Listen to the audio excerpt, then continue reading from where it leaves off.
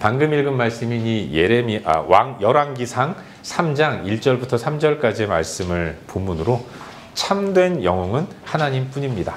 참된 영웅은 하나님뿐이다라는 제목으로 하나님 말씀을 함께 나누도록 하겠습니다. 여러분 이런 말 있잖아요. 도낀 객낀이다. 제가 이 말씀을 준비하다가 정확한 표현이 뭔지가 궁금해지더라고요. 저는 도낀 객낀이라고 알고 있는데 어떤 사람은 뭐 도찐 객찐이다 이래요.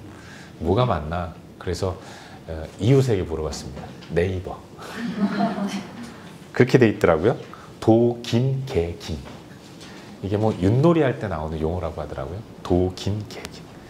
도긴 개긴 그러니까 왠지 어감이 좀 아쉽고 부족합니다. 그래서 저는 그냥 저 하는 식으로 도낀 개낀이다 이렇게 얘기를 하려고 해요. 도낀 개낀 무슨 뜻입니까? 한마디로 거기서 거기라는 거죠. 대상들 간에 별 차이가 없을 때 이르는 말 니나 내나 도낀 개낀이다 이렇게 얘기를 하는 거죠.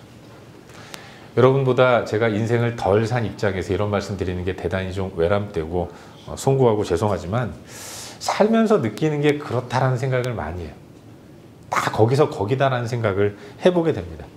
우리 우리끼리 뭐 잘났다 못났다 구분하고 네가 잘났네 내가 잘났네 하지만 사실 우리의 모습을 적나라하게 드러내 보면 그나 나나 별로 다를 게 없다는 것을 종종 느끼는 거죠. 여러분 키 큰 사람도요 다 2m 아래입니다. 아무리 작아도 바닥에 붙어 사는 사람 없어요. 다 그냥 그런 모습을 가지고 사는 거죠. 그리고 더 신기한 거. 제가 다시 한번 외람 때에서 이런 말씀을 드리는 게 좀 민망하지만 인생을 살면서 느끼는 게 점점 평준화가 이루어진다는 생각이 들어요. 이런 걸 봤는데 50대부터는요 지식의 평준화가 이루어진답니다. 많이 배웠든 못 배웠든 가방끈이 길든 짧든 깜빡깜빡하는 건 비슷비슷하다는 거예요. 어제 뭐 먹었지? 생각이 잘 안 나요. 여러분 그런 분 많이 계시지 않습니까? 내가 어제 누굴 만났지? 한참 기억이 안 나가지고 애를 먹는 경우도 있잖아요. 그런가 하면 지난주 설교 뭐였지? 이렇게 생각하시는 분들은 너무 예뻐요. 여러분들이 그렇게 해주셔서 저도 설교를 잘 합니다. 60대부터는요, 얼굴의 평준화가 이루어진다고 그래요. 젊을 때 멋있었고 예뻤던 분들. 그게 다 옛날 얘기라는 거 아니겠습니까? 아, 옛날이요라는 거죠. 얼굴에 늘어나는 주름, 검버섯. 여러분, 저도 30대 후반에 여기 왔는데요. 이렇지 않았습니다. 아주 하얗고, 아주 파릇파릇한 그런 시절이 있었는데, 어느새 제 모습을 보면 그 얼굴이 그 얼굴이구나. 이런 생각을 해보게 되는 거죠. 70대부터는 재산의 평준화가 이루어진다고 그래요. 큰 부자가 아닌 이상 나도 가진 거 없고 그 사람도 가진 거 없는 겁니다. 다 거기서 거기라는 거죠. 80대는 뭔가 건강의 평준화가 이루어진다고 하더라고요. 우리가 그런 것 같아요. 앞서거니 뒤서거니 경쟁을 하지만 그래서 이기면 기분이 좋고 그래서 어떻게든 이겨보려고 아등바등 내고 애를 쓰지만 사실은 다 거기서 거기가 아닌가 이런 생각을 해보게 되는 거죠. 누구도 영원히 나 잘났네 하면서 살아갈 수 있는 사람은 아무도 없는 우리 모두가 다 연약한 인간이고 별 수 없는 인간이라는 겁니다. 시편 기자의 말처럼 인생은 그 날이 풀 것 같고 피는 피고 지는 들꽃 같아서 바람 한번 지나가면 곧 시들어 그 있던 자리마저도 알 수 없다. 이런 말이 공감이 되는 겁니다. 우리가 성경을 읽다 보면 우리 마음 가운데 두 가지 감정이 일어나는 것을 발견하게 돼요. 하나는 측은지심입니다. 그리고 또 하나는 그 가운데서 측은지심의 마음 가운데서 생겨나는 감사한 마음이라는 그런 생각이 들어요. 측은지심은 인간에 대한 연민이고 감사하는 하나님을 향한 우리의 마음이라는 것입니다. 여러분 성경은 하나님의 이야기 아니겠습니까? 그런데 하나님은 늘 항상 사람을 택하시고 택한 사람을 통해서 하나님 당신의 뜻을 이루어 가시는 것을 보게 돼요. 하나님이 직접 이 땅 가운데 임하셔서 그리고 당신의 살아계심을 나타내시면서 하나님이 다 진두지휘해서 이렇게 저렇게 이끌어 가시면 좋겠지만 하나님이 결코 그러시지 않거든요. 하나님은 사람을 통해서 하나님 당신의 뜻을 나타내시고 그 일들을 사람을 이용해서 이루어 가시는 분이라는 겁니다. 그런 의미에서 성경은 하나님의 이야기를 기록한 책이지만 어떤 의미에서는 하나님이 사용하시는 사람의 이야기가 성경이다. 이런 생각을 또한 해보게 되는 거죠. 성경에는 많은 인물들이 나와요. 성경에 수많은 사람들의 이름이 등장하고 그들이 어떤 인생을 살았는가가 빼곡하게 기록되어 있습니다. 우린 그걸 읽으면서 여러 가지 것들을 생각해 보게 되는데 그게 두 가지인 거예요. 하나는 측은지심, 또 하나는 감사한 마음. 여러분 우리는 늘 영웅을 필요로 합니다. 그래서 어떤 한 사람의 인생, 특별히 많은 업적을 남긴 사람을 보면 그 사람을 통해서 그 사람을 영웅으로 만들려고 하는 그런 경향이 많이 있죠.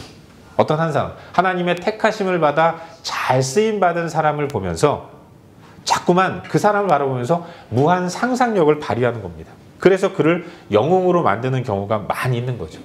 그래도 나와는 뭔가 다른 구석이 있으니까 하나님이 택하셨겠지. 이런 생각을 하면서 그와 나를 달리 보고 필요 이상으로 성경에 나오는 인물들을 과대평가하는 경우가 많이 있는 거죠. 그리고 그 평가에 걸맞는 무리한 성경 해석을 하는 경우가 종종 있는 거예요. 여러분, 우린 요즘 교회적으로 새벽마다 열왕기 상 말씀을 묵상하고 있지 않습니까?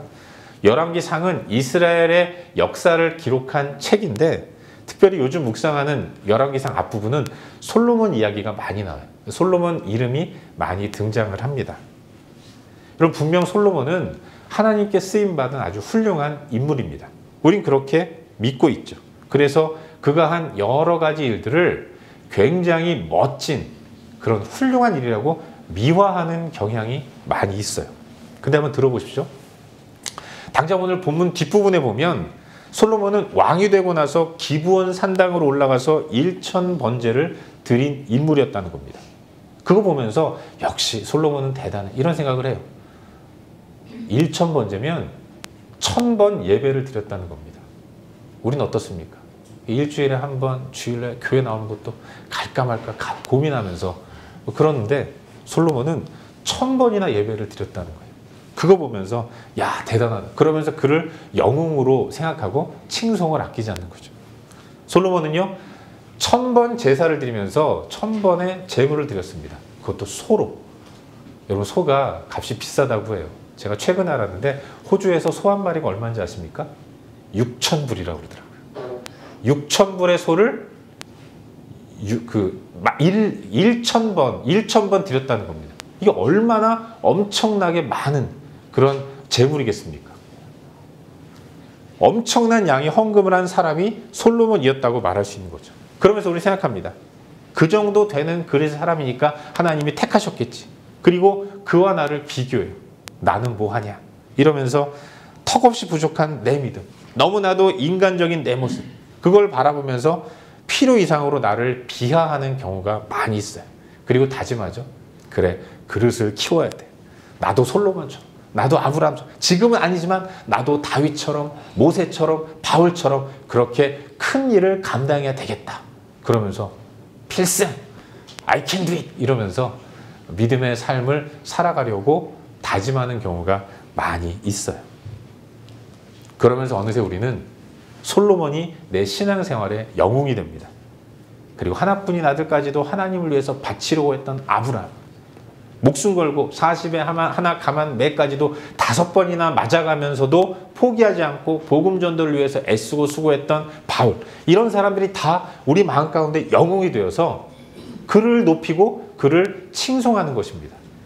아니 찬양은 하나님만이 받으셔야 하는데 어느 순간 우리에게는 성경에 나오는 믿음의 사람들이 너무나도 우리 마음 가운데 영웅처럼 자리매김해서 마땅히 하나님께 올려드려야 할 찬양을 그런데 사람, 바울, 솔로몬, 아브라함, 다윗, 모세 이런 사람들에게 올려드리는 경우가 종종 있다는 거죠.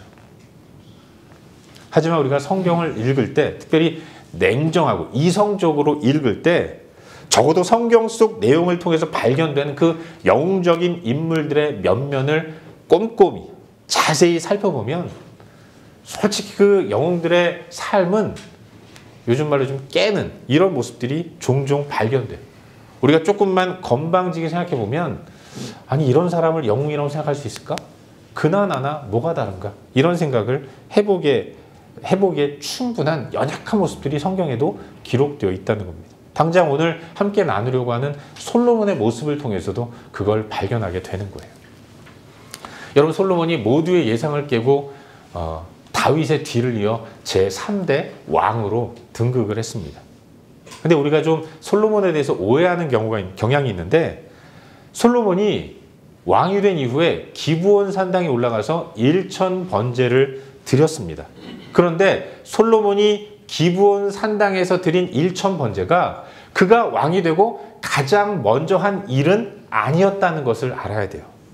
이 일은 솔로몬이 왕이 되고 약 4년여의 시간이 흐른 이후에 벌어진 일이었다는 겁니다.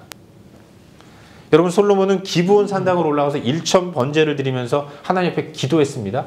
기도하는 가운데 하나님이 꿈에 나타나셨어요. 너 그렇게 열심히 나에게 제사하고 예배하는데 내가 너에게 뭐 해주랴? 하나님 부탁 말씀하셨을 때 솔로몬은 이 백성 내가 다스릴 수가 없습니다. 백성들을 바라보니 나는 작은 아이라 출입할 줄도 모르겠습니다. 그런 내가 왕으로서 백성들의 시시비비를 가려주고 재판을 해야 한다니 나는 감당할 수 없습니다. 그러니 하나님 나에게 당신 백성들 재판하고 여러 가지 일들을 판단할 수 있는 지혜를 주십시오. 이렇게 기도한 거예요.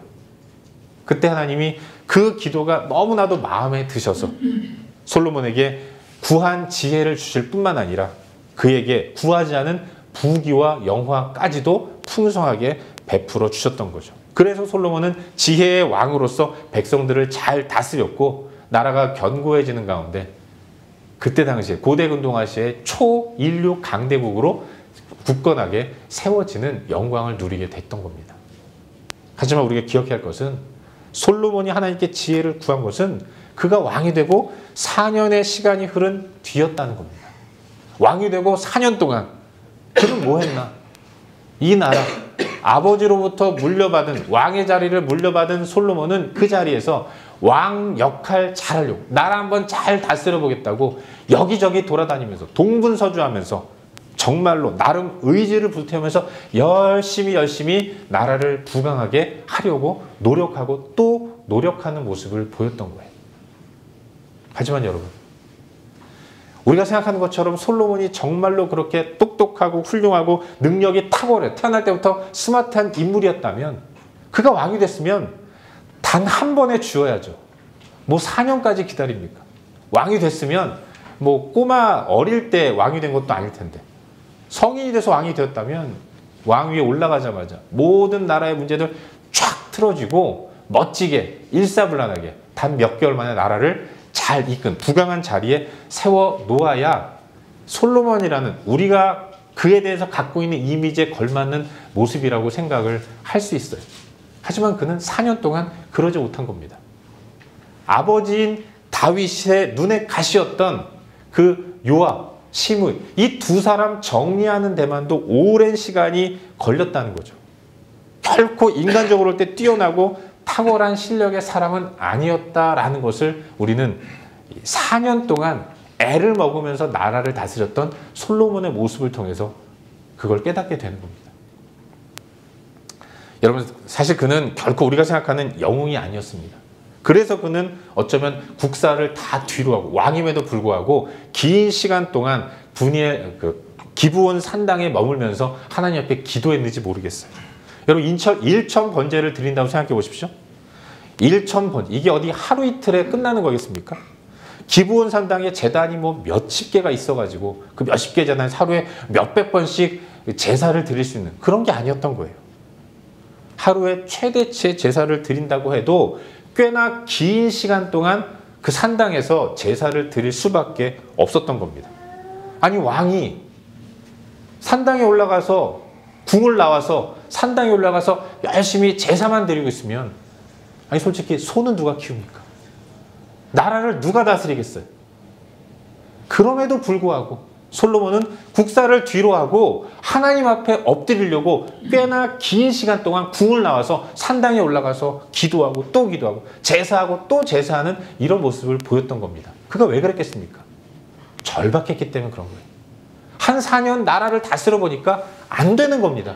자기 지혜로는 안 되는 거죠. 나는 어린아이처럼 연약하고 부족한 존재인데 그런 내가 어떻게 이 나라를 왕으로서 다스릴 수 있을까? 걱정스러운 마음에 그는 다 뒤로 하고 지금은 나라를 다스릴 만한 때가 아니다. 나는 산당에 올라가서 하나님 앞에 제사해야 돼. 이러면서 다 뒤로 하고 기브온 산당으로 올라갔던 겁니다. 처음에 그는 정말로 고생 많이 한 수준 미달의 사람이었던 거예요. 그리고 결정적으로 그가 얼마나 연약한 사람인가를 보여주는 게 오늘 함께 읽은 본문 말씀인데요. 여러분 오늘 본문 보시면 솔로몬은 뭐 그렇게 떳떳하고 당당한 신앙의 소유자도 아니었다는 것을 알 수 있습니다. 천신만고 끝에 겨우겨우 내치를 다지고 그리고 나서 그가 한 일이 뭡니까? 산당에 올라가서 제사하기 전에 그가 한 일. 그는 애굽 여인을 아내로 맞이했다는 거예요. 애굽 왕 바로의 딸 애굽의 공주를 자기 아내로 맞아들이고 그리고 자기 궁에 뒀다는 겁니다. 정략 결혼했다는 거죠. 여러분 잘 아시다시피 이집트는 강대국 아니겠습니까? 힘 있는 나라와 좋은 관계 가지면 좋은 거죠. 우선은 힘 있는 애굽이 절대로 사위인 솔로몬의 나라를 공격하지 않을 겁니다. 그런가 하면 이스라엘도 이스라엘이지만 다른 이방 나라들이 이스라엘 공격하려고 할 때 감히 이스라엘을 함부로 덤벼오지 못하는 겁니다. 왜냐하면 그 뒤에는 애굽이 있기 때문에. 그래서 결혼한 겁니다. 그리고 이 마음 가운데는 내 안전은 내가 지켜야 한다. 누가 나를 보호해? 누가 우리나라를 보호하겠어? 내가 어떻게 해서든지 내 한 몸 희생해서 애굽왕 바로의 딸을 아내로 맞이해야겠다. 하나님 의지하지 않는 모습인 겁니다. 인간적인 방법과 자구책으로 나라를 다스리려고 했던 하나님 보시기에 결코 합당하지 못한 이런 마음이 솔로몬 마음 가운데 있었다는 거예요.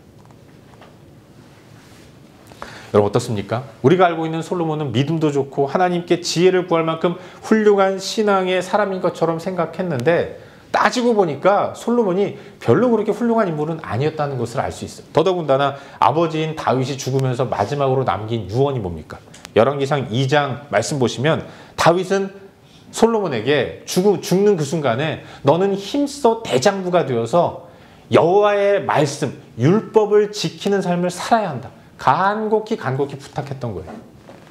율법을 지키는 삶. 율법엔요. 신명기 10장 보시면 이스라엘의 왕은 병마를 많이 세우려고 애굽으로 돌아가지 말라라는 말씀이 기록되어 있습니다.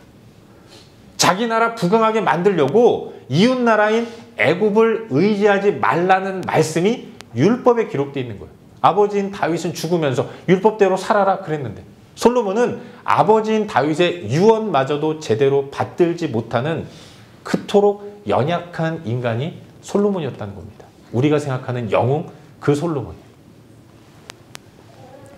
여러분 애굽왕 바로의 딸을 아내로 맞이하면 그 공주가 자기 혼자 오겠습니까? 그가 온다면 그녀가 온다면 그녀가 애굽에서 섬겼던 우상들도 함께 오는 거예요. 왕비는 우상을 섬기죠. 아니 왕비도 섬기는 우상 백성들이라고 안 섬기겠습니까? 결국 솔로몬은 백성들에게 하나님 백성들에게 우상 저기 있다 저기 가서 절해라 우상을 섬기는 제사에 초대하는 형국이 됐던 겁니다. 이토록 엄청난 일을 엄청난 일인지도 모르고 자행하는 이런 모습을 솔로몬은 보였던 거예요. 이런 끔찍한 일을 벌인 사람이 솔로몬이었는데 근데 이 사람이 참 어처구니 없는 게 그러면서 또 어느 순간은 정말로 하나님을 의지하는 모습을 보입니다. 그는 하나님 앞에 산당에 올라가서 1천 번의 제사를 드리면서 나는 하나님밖에 의지할, 사람, 의지할 것이 없습니다. 이런 기도도 드리는 거예요. 마치 이런 겁니다. 토요일까지 술 진탕 마시고 교회에서 예배 드리면서 오 하나님 찬양합니다. 이런 모습이 사실은 솔로몬 가운데 있는 거죠. 사랑 여러분, 솔로몬이 그렇게 연약한 존재입니다. 그리고 그 솔로몬과 비교해 볼 때 나 또한 그런 연약함이 우리 가운데 있죠. 그래서 이 땅의 모든 사람들, 해 아래 살아가는 저 여러분, 우리 모두는 성경에 나오는 모든 인물들은 다 그렇게 연약한 존재이고 별 수 없는 인간이에요. 그 놀라운 것은 그런 연약한 솔로몬도 그런데 하나님은 붙드셔서 사용하셨다는 것입니다. 솔로몬을 바라보면 측은지심이 일어나는 겁니다. 그도 나나 나와 별반 다르지 않는 인간이구나. 참 불쌍하다. 이런 측은지심의 마음이 일어났는데 그런데 놀라운 것은 그런 연약한 그도 하나님이 택하셔서 왕으로 세우시고 그를 통해서 하나님이 하시고자 할 모든 일들을 다 행하셨다는 것입니다. 그는 아버지인 다윗의 유언마저도 제대로 받들지 못하는 왕이 되고 4년 동안 하다 하다 결국 안 돼서 산당으로 올라가 앞에 엎드리고 독대하면서 지혜 주십시오 기도한 그토록 연약한 인간이었지만 그런데도 하나님은 그를 포기하지 않으셨고 그를 끝까지 붙드셔서 위대한 하나님 나라의 왕으로 사용하셨다는 것입니다. 솔로몬이 위대한 것이 아니라 솔로몬을 솔로몬 되게 만드신 하나님이 계신 것이고 우리가 누군가를 영웅으로 만들려고 한다면 많은 일을 행한 솔로몬이 아니라 그 많은 일을 진정성 있게 감당할 수 있도록 끊임없이 이 연약한 솔로몬임에도 불구하고 역사하셔서 그를 도우시고 사용하셔서 하나님 위대한 일을 감당하게 하신 하나님이 참된 우리의 영웅이 되어야 한다는 것. 그래서 찬송은 솔로몬이 아닌 하나님이 받으셔야 한다는 것. 우린 그걸 성경을 통해서 깨닫게 되는 것입니다. 사랑 여러분, 하나님은 연약한 자를 들어 하나님의 일들을 감당하시는 분이십니다. 솔로몬은 지난주에 설교 말씀드렸지만 왕이 될 수 없는 조건의 사람이었어요. 그러나 그는 그런 가운데서 연약한 자였기 때문에 하나님이 붙드셔서 그를 통해서 위대한 일들을 이루셨습니다. 하나님 지금 이 시대에도 연약한 나를 통해서 하나님의 일들을 이루어 가십니다. 내가 내 연약함을 주장하고 연약함을 핑계대면서 이리저리 도망가고 피할 때는 끝까지 추적하시고 추격하시고 쫓아오셔서 결국은 나를 붙드셔서 하나님 당신의 뜻을 이루어 가시는 분이라는 것입니다. 하나님의 택하심에는 후회하심이 없어요. 나처럼 연약한, 여러분처럼 부족한, 저도 연약하고 여러분도 부족한 그런 똑같은 존재인데 근데 놀라운 것은 하나님은 그런 사람들만 골라서 쓰신다는 겁니다. 이런 파격적인 일을 행하시는 분이 하나님이라는 거죠. 그래서 우리는 하나님께 감사의 찬양을 올려드릴 수 있다는 것을 믿으시길 바래요. 어떤 의미에서 우리는 몽땅 연필입니다. 우리는 다 하찮은 존재고 쓸 구석이 전혀 없는 소망 없는 존재입니다. 요만한 볼펜 붙잡고 글씨나 제대로 쓰겠습니까? 제 글씨를 되게 잘 써요. 볼펜이 형편없어서 못 쓰는 겁니다. 이렇게 핑계를 댈 만한 사람이 우리인 거죠.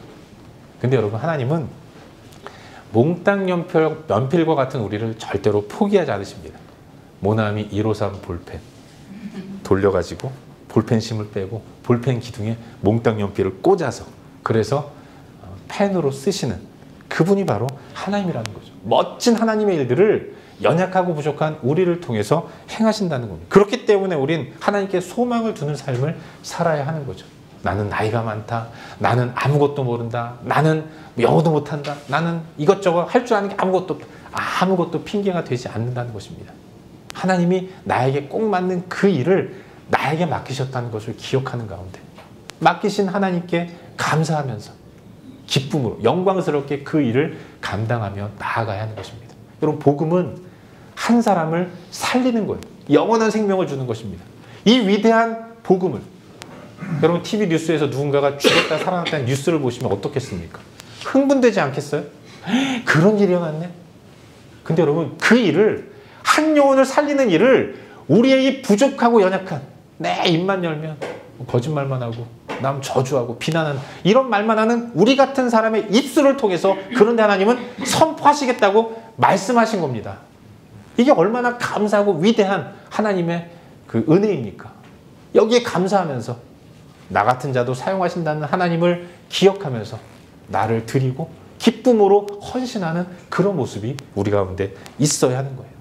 그리고 똑같은 사람들을 바라보면서는 그들을 주목하는 것이 아니라 하나님이 나도 쓰시는데 나도 사랑하시니까 저 사람도 사랑하시겠구나 라는 생각으로 측은지심의 마음으로 그의 손을 잡고 함께 하나님의 일들을 이루어 가야 한다고 믿습니다. 사람 바라보는 것이 아니라 하나님께 주목하면서 하나님께 시선을 놓치지 않는 이런 모습을 가지고 살아가야 하는 거예요. 여러분 사람에게 건 기대는 우리가 알고 필연적으로 실망을 하게 만듭니다. 여러분 그가 나빠서 나를 실망시킨 것이 아니라 그도 어쩔 수 없기 때문에 나를 실망시키는 거예요. 여러분 남한테 욕먹기 좋아하는 사람 누가 있겠습니까? 다 잘해주고 싶어요. 저도 그렇습니다. 저도 여러분에게 훌륭한 목사님 소리 듣고 싶어요. 안 되는 거 어떡합니까? 이런 저 보면서 아뭐 저래 목사가 왜 저- 목사니까 그런 거예요. 여러분도 마찬가지입니다. 뭐 교회 직분자인데 어쩌면 저럴 수 있냐? 다 똑같은 인간입니다. 그 사람 바라보지 마시고 사람 바라보면 다른 사람 상처받는 거 아니에요. 나 상처받는 거예요. 왜 나 상처받을 일을 그토록 열심히 합니까? 그렇게 남 바라보면 상처받으면 뭐 좀 좋아집니까? 아무것도 없잖아요. 사람 보지 말고 정말로 하나님을 바라볼 수 있었으면 좋겠어요. 인간은 결코 누구, 누구도 영웅이 될 수 없습니다. 진정한 영웅은 하나님밖에 없다는 것을 기대해야 돼요. 중요한 것. 그건 연약한 우리를 하나님은 아심에도 불구하고 택하셨다는 것. 택하신 우리를 그 일을 감당할 수 있도록 지금도 역사하시면서 일하고 계신다는 것. 그 하나님을 바라보며 나아가야 돼. 안목의 정욕을 떨쳐버리지 못해서 애굽이라는 큰 나라의 나라를 의지하려고 했던 솔로몬. 하나님의 자신의 이익이 된다면 율법이고 뭐고 다 필요 없고 정략 결혼도 불사하는 그 연약한 인간 솔로몬도 그런데 하나님은 역사하셔서 위대한 당신의 백성들을 이끄는 왕으로 사용하셨다는 것입니다. 그분이 하나님이고 그 하나님이 바로 나의 하나님이라는 사실을 기억하며 나아가야 하는 겁니다. 여러분 전문가는 버리는 게 없어요. 하지만 하수에는 다 버리는 것밖에 없지 않습니까? 그림 못 그린 사람은 맨 물감만 사요. 일 못하는 목수에는 이 나무는 이래서 못 쓰고 저 나무는 저래서 못 쓰고 다 버리는 겁니다. 하지만 전문가는요 손톱만큼의 물감만 있어도 멋진 그림을 완성합니다. 건축자의 버린 돌마저도 하나님은 들어서 건물의 모퉁이 돌로 삼으시는 분이에요. 그 위대한 하나님이 나의 하나님이라는 사실을 굳게 믿으면서 그 하나님 의지하며 나아갈 수 있기를 바랍니다. 사람에게는 한쪽 눈만 뜨시고 우리의 눈을 크게 떠서 두 눈을 크게 떠서 하나님만 바라보시는 가운데 나의 영웅 되시는 하나님을 의지하고 바라보면서 이 땅을 복되게 살아감으로 말미암아서 우리의 삶이 정말로 풍성한 하나님의 쓰임 받는 그런 복된 인생이 될 수 있기를 주의 이름으로 축원합니다. 기도하겠습니다. 이 시간 함께 말씀 붙들고 기도하기를 바라는데요. 사랑하는 여러분, 하나님은 우리의 삶 가운데 놀라운 은혜를 베풀어 주십니다. 역사하세요. 그 은혜 하나님을 굳게 붙들고 나아갈 줄 믿습니다. 성경을 통해서 또 교회 안에서 여러 곳에서 사람 바라보지 않고 하나님만 바라보며 나아갈 수 있기를 바랍니다. 주님 나를 붙들어 주시고 은혜 가운데로 나아가서 오직 하나님만 붙들고 주님만을 진정한 영웅으로 모시며 섬기며 나아갈 수 있도록 도와주시옵소서. 이 시간 말씀 기억하면서 한 목소리로 함께 기도하겠습니다. 기도합시다. 참 좋으신 아버지 하나님, 내 삶의 진정한 영웅이 하나님밖에 없음을 고백합니다. 참된 영웅은 오직 우리 주 하나님밖에 없음을 고백합니다. 능력의 주님을 의지하며 나아가도록 인도하여 주시옵소서. 아버지 하나님 은혜를 베풀어 주시옵소서. 내 삶 가운데 풍성한 하나님의 역사를 또 이루어가기 위해서 오직 하나님만 바라고 의지하며 나가도록 인도하시고 사람에 대해서 한쪽 눈만 뜨게 인도하시고 하나님을 향해서는 두 눈을 크게 뜨고 오직 하나님께만 주목하며 나아갈 수 있도록 인도하셔서. 주의 인도를 따라 복되게 살아갈 수 있도록 주님 역사하시고 은혜를 베풀어 주시옵소서 아버지 하나님 우리 삶 가운데 놀라운 은혜를 베풀어 주시옵소서